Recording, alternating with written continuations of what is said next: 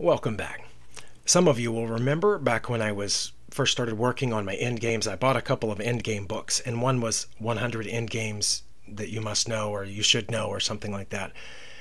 And I got to a point about 30 or 40 pages in where it said something about the Philidor position and then just acted like I should know that and said, well, of course, this diagram can't be solved this way because the defender can't reach the Philidor position. And then it just went on and it didn't say anything about what the Philidor position was or anything. And I, I flipped through several more pages and no, nothing. You just had to already know before getting the book that teaches me about endgames what the Philidor position was.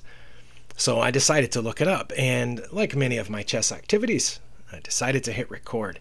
So I'm going to try to learn about the Philidor position, and there might be some other related things we will learn here, and maybe you can get some use from this too.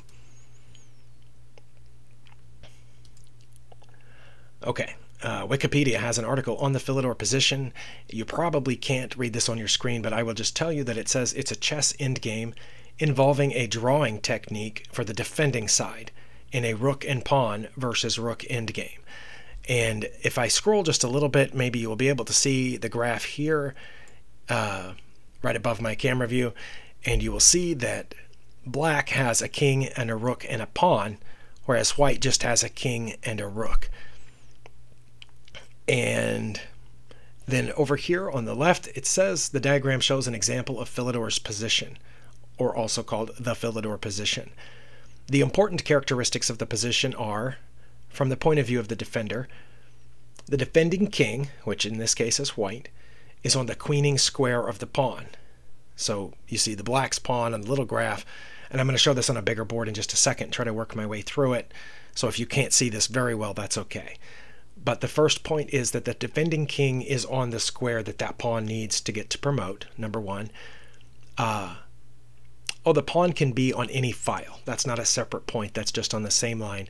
So in the Philidor position, or Philidor's position, it doesn't matter which file the pawn is on, as long as the king, the defending king, is directly in front of it on the square that that pawn needs to promote on. Number two, the opposing pawn has not yet reached the defender's third rank. Okay, so in the little diagram, the, the pawn is on the defender's fourth rank. And since we're playing with the white pieces, that's rank three and rank four. If you're playing with the black pieces, uh, it, the numbers would be different. But basically, that there has to be at least two empty squares between the pawn and the king. Uh, and our king, the defending king, is directly in front of the pawn with at least two empty squares between them. Number three, the opposing king is beyond the defender's third rank. Okay, so the same as the pawn. So the defender's the sorry, the attacker's king, the king that's matching the pawn, has to be at least as far back as the pawn. It can't be closer than that. And number four, the defender's rook, that's our rook, is on the third rank, which prevents that king from getting closer.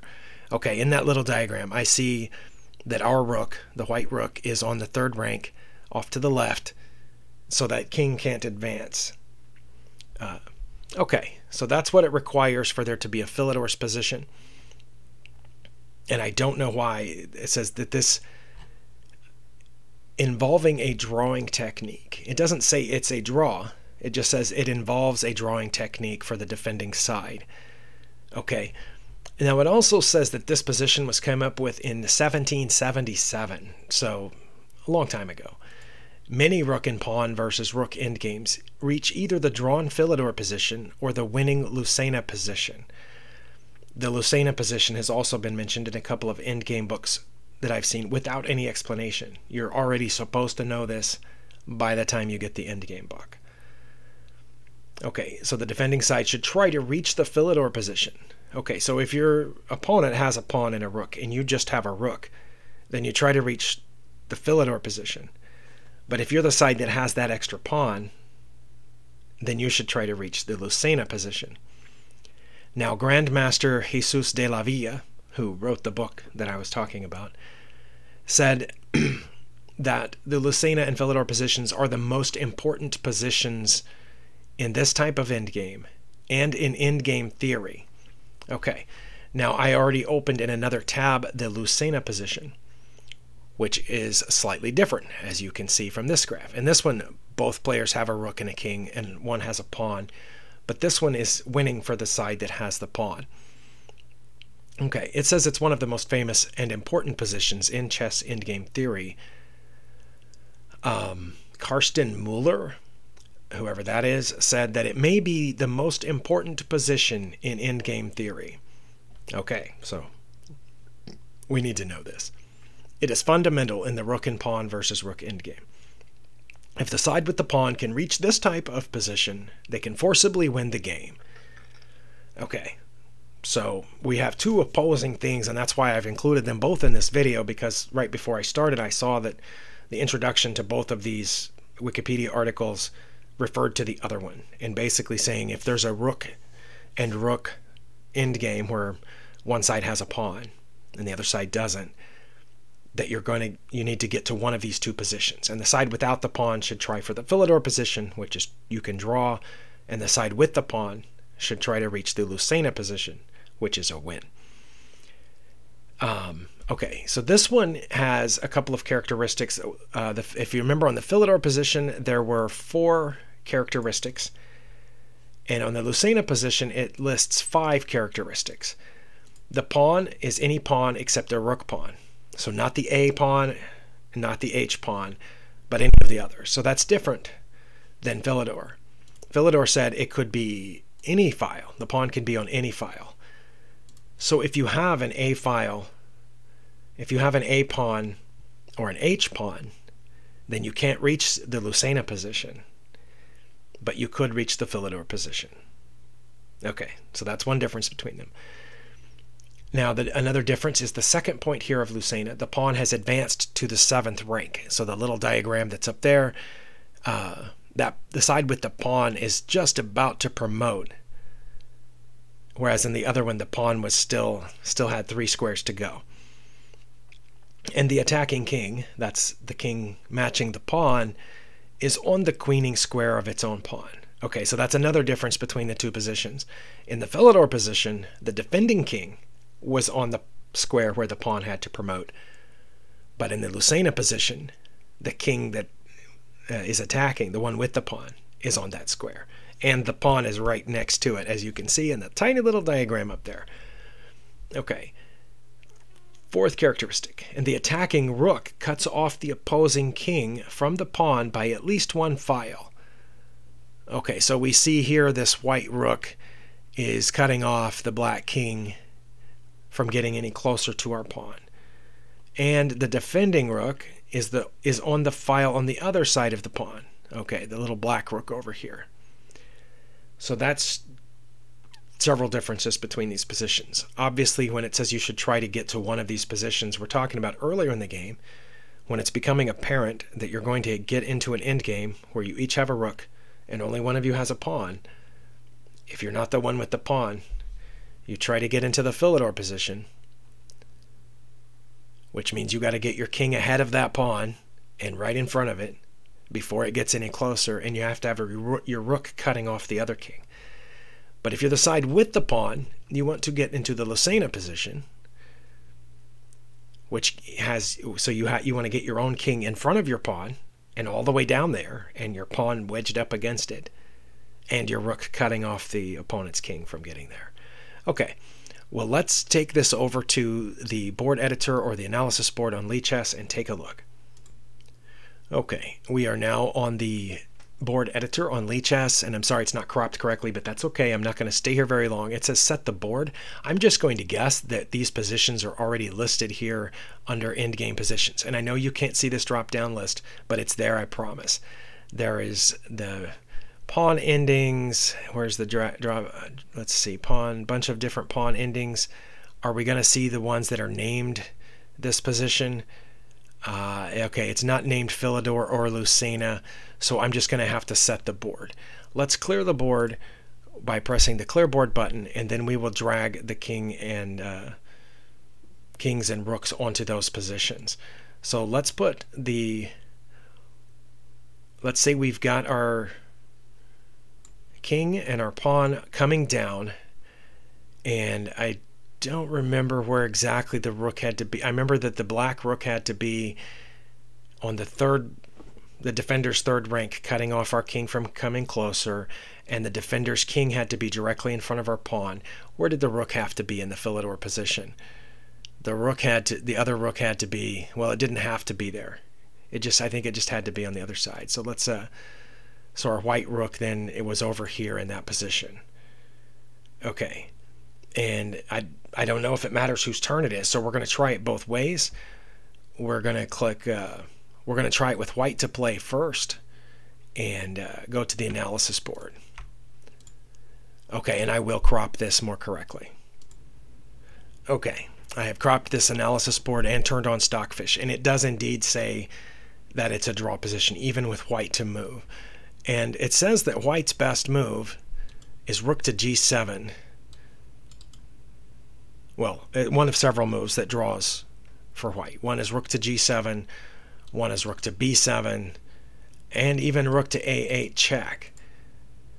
I think most people here would probably play check, certainly at my level, because and we don't know that this is the Philidor position, so we have no idea that it's a drawn endgame, that black can draw this game. So we're probably going to check. We can't move our king forward because, as the uh, position description talked about, the defender's rook is keeping our king from moving forward. I don't know why we wouldn't move the pawn forward, and maybe we'll find that out. Um, but it says if we check what what is uh okay here the defender only has two moves. If they go to d7 all of a sudden white has a huge advantage. If they go to f7 it's still drawn or if they go forward directly to e7 directly in front of the pawn it's still drawn. So let's say because we remember from our just king and pawn in games that we we want to keep our king in front of the pawn if at all possible. So let's say the defender moves there. And then what's white going to do? Are they why wouldn't they check it? Oh, if they check again, they just go back and forth and then it's a draw. So we know that. It's okay. So what should it says the rook to all the way back to a1 or b8 or a7 check. And all of those are 0 plus 1 according to the Stockfish here on Lichess. I have no idea what any of what that would do, and I have no idea why you would want to come all the way back here. But let's just say that we did the, the top one. Then what black just goes back, right? Okay, so black would just move back. Okay, and let's say they took this back to the original position, and then now it's black to move. This was the position that we started off in. So if we started off in this position and it's black's turn, what does black do? It's because black can't come forward because the rook cuts off all those squares, the white rook. Black's king can only go left or right. And the it says if you move the rook, it needs to go to either g6 or b6. So if, if you're the defending side on this, playing with the black pieces, you want to keep your, your rook on this rank here, which keeps this king from coming forward. So here, because you don't want to go to that square where the pawn can get it, or where the king can get it, or the king, or the king, or the rook. So that leaves you only two squares for the rook to go to. That makes sense. Okay, if you move your king, it says it's okay to move your king to d8. What would happen if you moved your king, if the defender moved the king to d8? They could still check, right? Like we saw in the beginning. So they they check, and then you could go to e7 or c7, but not d7 again. For some reason, if you get in front of white's king, you're in trouble. It gives white an advantage. Well, let's say e7 because we do want to stay in front of that pawn. Okay, and then here again, it's uh, Stockfish suggests that this rook can go here or, or check. Okay, so there's really nothing that white can do at this point. But let's say this, and, and black's king goes back to where it was, and now this is the original position, the Philidor position. What if white moves their pawn? That's the question I had at the beginning because it was saying you could do your rook here or there or back here. Well, what if white moves the pawn? Then what happens? Then what does black do? because now black doesn't have the option of taking the rook across this way. It says now you want to bring your rook back. H2 or H1. My guess is that it, it the reason that it's not any of those is because you want to get behind this king. And if you move to one of those squares, you, you can't come over and get behind that king. So let's say h2, well, let's say h1. It's the furthest. That's one of the two moves that draws here. Now what's white going to do? They've already pushed this pawn forward one time. It said they can go the king away from their pawn, or they can check here, or they could just move their rook over one. Now if they just move their rook over one, Stockfish says we're going to check them. Okay. Well, why wouldn't, my question now is why wouldn't they just move the pawn forward again? Now that they've got their rook here protecting it. What would happen if they moved the pawn forward? Oh, it says we would go here, willing to give up our rook for the pawn. Wait, really? If we did that, wouldn't they bring their king? It says they could. And then what do we do? It says we would go there.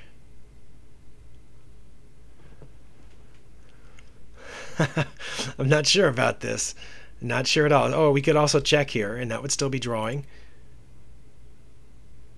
Or what? We can even check here, and that's still a draw? I'm going to do it. It says we can check here, and that's still a draw because the king would take it. But what if the king didn't take it? I assume they would, but what? But how is that still drawing? Oh, because we don't have any legal moves. Oh my goodness. Okay. Wow. Okay, so that was the Philidor position, which we read and now I've recropped the page, so you, the Wikipedia article isn't showing up quite the same as it was before. But the Philidor position is the one in which, uh, as we read from the description, the defending king is on the promotion square of the pawn. There's still at least two squares between that king and the pawn. The pawn hasn't got there yet. Uh, the king is also, the other king is at least that far away. Our rook is keeping their king from getting closer and their rook is on the other side. And that and in this case, it could, the pawn can be on any file. That's going to work even if the pawns are on the edge. So back to the analysis board, this position here, but again, this position can be moved around with the board editor, which also is not cropped correctly now. And so as long as our rook is on this file, I mean on this rank someplace, keeping the enemy king from coming closer, and as long as as long as this king and pawn aren't any closer than that, and as long as the defender's king is on the square that this pawn needs to be on to promote, then black can draw. But as we saw, there were a couple of places where black had losing moves, so they would have to know that. Uh, for example, when when white checked here, if black moved in front of the other king, then all of a sudden it was really losing. Because now what says now? We could play e6 check. Wait couldn't why could why couldn't they attack here why couldn't the defender take this pawn now now it says white has mate in 7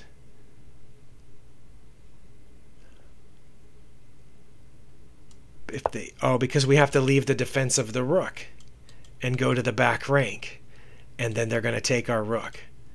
Okay. So we can't do that. So we can move in front of the pawn. Oh, but that get no, that gives white an advantage. Again, what should we Okay, so the mistake then was moving in front of the king, and then they could check us with this pawn. If we take the pawn, they get here, we have to go back, and then the king wins the pawn. So here, no matter what we do, they're then going to check us Why couldn't we come up this way? To f6. Oh, then they can check us here.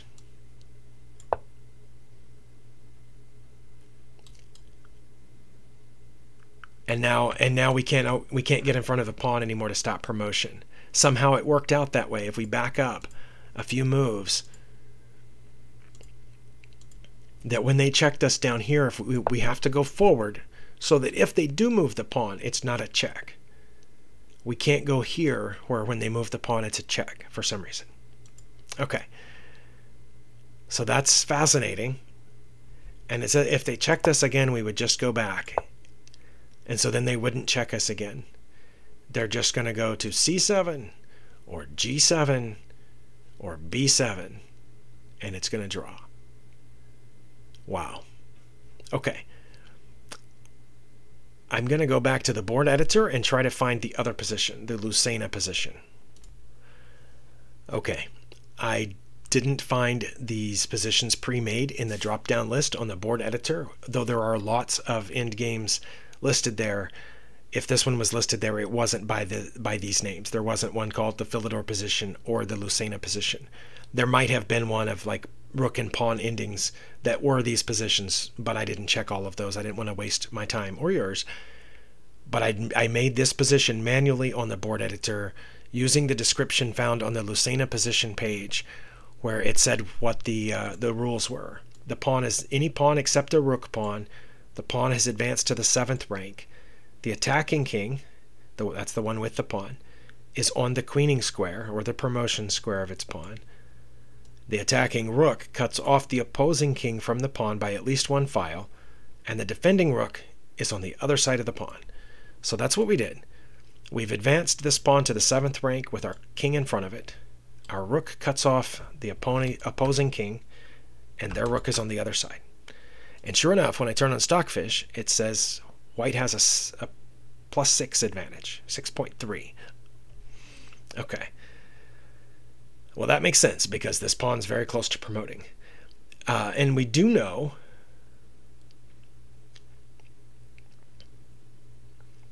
from other videos that we've made that if the two rooks were taken off the board at this point, we know that white's going to win this.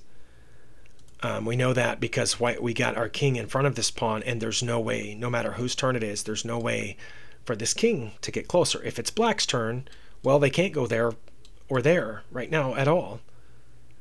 And no matter where they go, we can just move to the side and promote the pawn on the next turn. We we tried that in depth in a couple of earlier videos, I don't know, a month or two ago, maybe about a month. The only thing where black could force the draw or the defending side could force the draw is if our king was behind our pawn and their king managed to get in front of it. If their king was in front of this pawn, then they could force the draw because we couldn't get their king out of there and we ended up in a position where they could either take the pawn or we left them no legal move or there was a repetition. But because our king's in front of the pawn, and again, we're talking about an endgame with where the rooks aren't there, just the kings and that one pawn. We already know that one's drawing and one's winning for the side with the pawn. But this is just like that, except we've added rooks. And it makes a huge difference that the defender allowed the pawn to get this far, and it also, according to the rules on the Wikipedia page, it makes a huge difference that our rook is keeping their king from getting closer. Now, in this case, their king can't get closer anyway. Because even even without our rook here, our, our king guards those two squares right now. So it's white's move the way I set this up. So what is white going to do? Right now, white would put their rook right down here, which would force their king away somewhere. Okay, that makes sense. And then once they do, see, they're going to want to go here because if they go there, we can bring our king out and then be ready to promote our pawn. So they're going to want to go here to keep our king from coming this way, and our king can't go that way. So what's our next move? It says we would check them here. But then aren't they going to go back? Stockfish is still saying we have a huge advantage if we check them there. Is this going to be like that other video where I was doing a puzzle and Stockfish just said to repeat moves? You can't win if you repeat moves. We know that. That's in the rules of chess. So Stockfish needs to learn the rules of chess. Rook to d5, it says. Well, that's here. Now it's black's turn. So we checked them, and now we came back. What did that accomplish? Now we're in a Lucena position again. It's their turn. They have to do something. What if they go here? Says they're if they go there, we should just check them.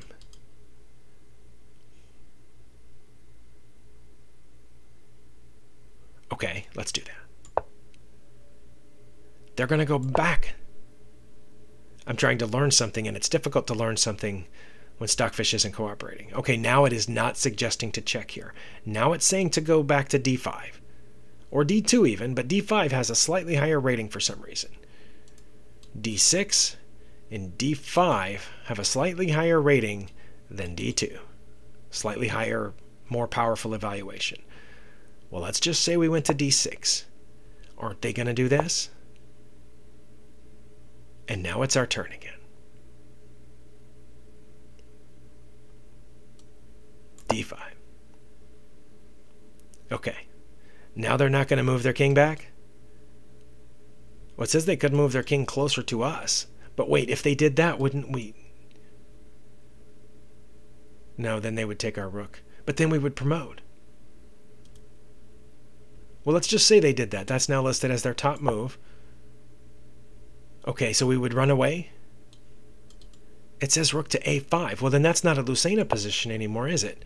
Because the Lucena position uh, had our rook cutting off this king.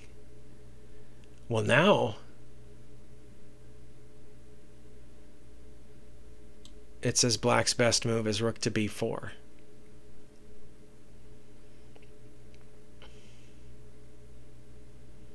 My question is That's what it says. I, I don't even know what, how to formulate my question. Okay, so let's say they did that. Now, do we bring our king out so we can get out of the way of that dang pawn? Because we can't promote the pawn as long as our king's in front of it. Uh, the top three moves say no. I don't know. Let's just do it. It still says we have a huge advantage, even though they can check us. And that's by far their best move, which I would assume so. So let's say they check us. Now, do we get away? So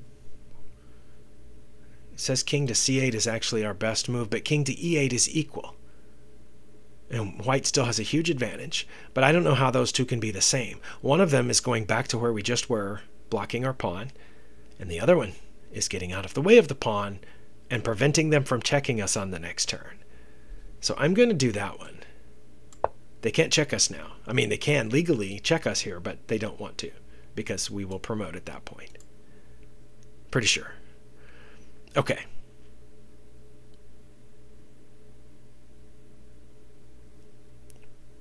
Wait.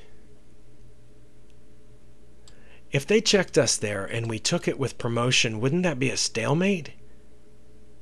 Because our queen would be cutting off all these squares and our rook would be cutting off all of those. Oh my goodness. Yeah, it's as if we take there with promotion, we need to promote to a rook or a knight. Because if we promoted to a queen, that's a stalemate. Oh, wow. See, I would probably have an opponent do that, and it would trick me, and I would lose. Yeah. I did not mean to go back that far. I meant to go back a little bit, just a few moves. Okay, yeah, because we, we wanted to move over here, and then what would they do? It says, see, oh, to get behind the pawn. That makes sense. Okay, so let's say they got behind the pawn. Well, says then we would move to protect it, but then wouldn't they check us again? This one isn't as obviously winning to me as the other one was drawing. The first position that we looked at in the first half of this video was the Philidor position, in which the defending side, the side without the pawn, could draw it with careful play. And that one looked like it made sense. There just wasn't anything that the side with the pawn could do if we played it just right. But this one, I'm trying to promote that pawn. I'm trying to win, and I can't find it. And the stockfish keeps saying, "Oh, you're plus 49. You've smoked them. They should resign now. The, the plus 49. You should resign, right? You should, I mean, I've got people in the forums every day in various websites saying if you're, you know, plus seven, that the other side should resign. This is plus 49. Okay, so I've got to protect the pawn. I can protect the pawn by check, rook to a6 check.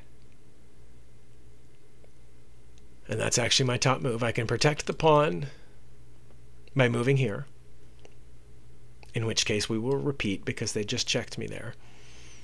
Or I could protect the pawn by putting a rook on it. But then I can't promote it. Okay. So let's say I protect the pawn with check. That's something we haven't tried yet. That was really great, Stockfish says. And I know that their king can't come toward our king. And obviously it can't stay on the file where it is. So it's got three choices. That's the only legal moves besides this not very smart one. Okay. So when it says all of those are plus 48.9. So it doesn't matter. E5, D5, F5. Let's let's pick the one closest to the pawn. Okay. So now Oh, now we can come back and they can't check us again. Okay. I get that. So back up one. What if it didn't block that check? What if it just came here? Now we can, it says we can protect the pawn with king to d8 or king, whoops, wow, king to d7 or rook to a7. But I know that if we go to one of these two squares with our king, d7 or d8, they're going to check us. So they're going to check us. Eh, but it says even if they don't, it's still plus 49. Even if they take the pawn now, Oh, okay. Obviously, if they take the pawn, it's plus 49 because we'll take the rook, and then we know how to win a king and a rook endgame because I made a video on that. We know that. If you don't know that, I have a video on how to win with just a king and a rook versus a king. You can do it. All right, but I know that most of you do know that already. So I don't know why they would do that because that's obviously losing. But why would a check be losing here?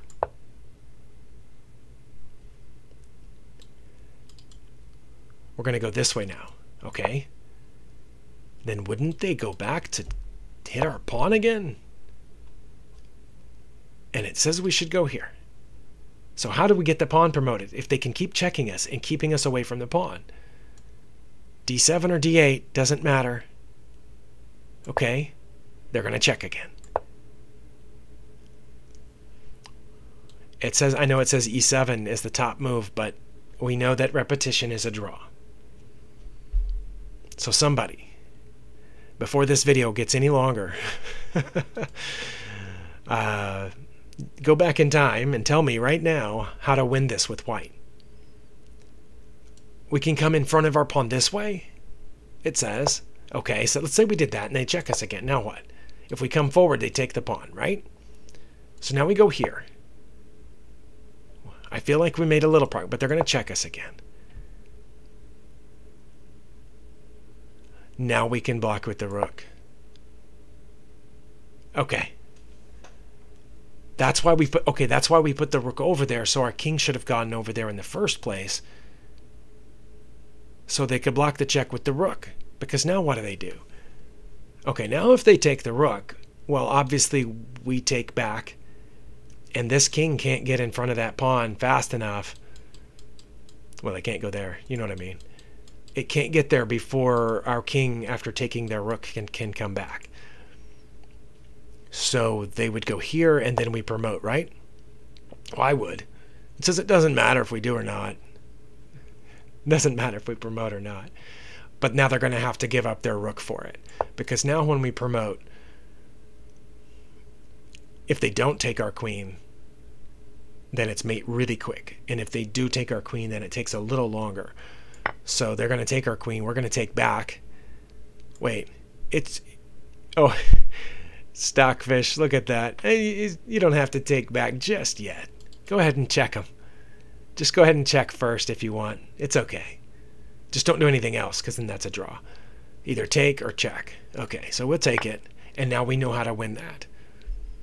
Okay, but that was really dicey. So to me, as a, uh, I guess a novice, I, you can't really call me a beginner anymore because for more than a year I have been studying tactics and openings and and end games. To me, a beginner is someone who who barely knows how the pieces move. And I know that to somebody like Magnus Carlsen or Hikaru or somebody, I yeah, I barely know how the pieces move, but um, but I, I can't think of myself as a beginner given the long list of things that I've learned. But to me, the Lucena position and the Philidor position uh, are fairly complicated, but I think we worked our way through it. Uh, again, the Lucena position was more difficult for me, for the way that I think. And maybe I should have flipped the board. Maybe that would have helped me see it in a better light. Um, and that's something that I can try in the future. The Philidor position was easier once I ran through it on the board. Once I saw that if they advance that pawn, they're going to end up getting it stuck. And if they don't advance the pawn, then we're just going to end up repeating. Um, if they tried, here's the little graph down here. If they tried to check, we would just go up in front of the pawn. And if they tried to check again, we would just come back. And they can't bring their king because our rook was over there. We could make a mistake, as we saw, and let that pawn through. But if we're careful, if we've studied this and practiced it, which I am going to, we can draw in the Philidor position. We have to remember what that is. Especially if I go back to look at that endgame book, I'm going to have to remember that the Philidor is the one that I can draw if I'm defending. And that's the one with the rook on the third, and their pawn and king haven't reached there yet. And if I, with the Lucena position, I can't draw. I'm going to lose if the other player is the one with the pawn or that I can definitely win if I'm the player with the pawn, but it's going to be difficult. We just looked at this for what 15 minutes and it was difficult to find a way to get that pawn through there. And it looked like in a lot of cases there was about to be a repetition of positions or a repetition of moves, which would be a repetition of positions that would have been a draw by repetition. Um, but we we eventually got to a position where we could promote the pawn and force the opponent to give away their rook for it, and then we had to know how to win the rook endgame with just uh, checkmating with a lone rook, which is difficult. Some uh, many people at just below my level still haven't learned that. I ran into someone the other day that had a hard time checking me with just a queen, and so and and I'm at 1300 I, that was actually that, that was in a bullet game though, so lower in that, you know, lower than 800. But I still had somebody that had had trouble checkmating me with just a, a queen. It took a while. So anyway, these are well-known positions according to chess masters and chess teachers in the books that I'm reading, and um, discovered in the 1600s, 1700s, one and the other and studied by all In and, and according to these writers these chess experts these are the most important position the lucena is the most important position in endgame theory. And the philidor was listed as uh, well together the lucena and philidor are the most important positions in this type of endgame and in endgame theory um, so if you don't know these yet they're definitely worth studying certainly the grandmasters think we should. I've probably reached these positions by accident and didn't realize that that's what it was. And uh, in that case, I might have drawn one of these games that I should have won. Or I might have lost one of the ones that I should have drawn.